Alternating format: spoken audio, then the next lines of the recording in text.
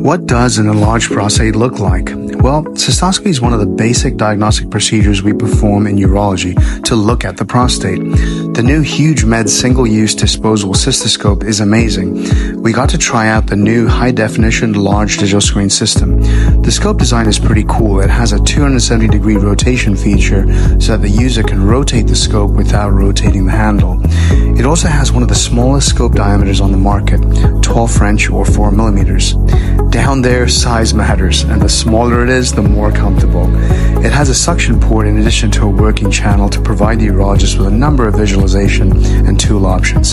But the best part of it all is that it's one of the most cost effective disposable cystoscopes out there.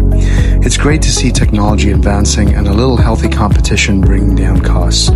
This video illustrates flexible cystoscopy using the HugeMed cystoscope in a patient who has an enlarged prostate, BPH, and a median lobe protruding into the bladder.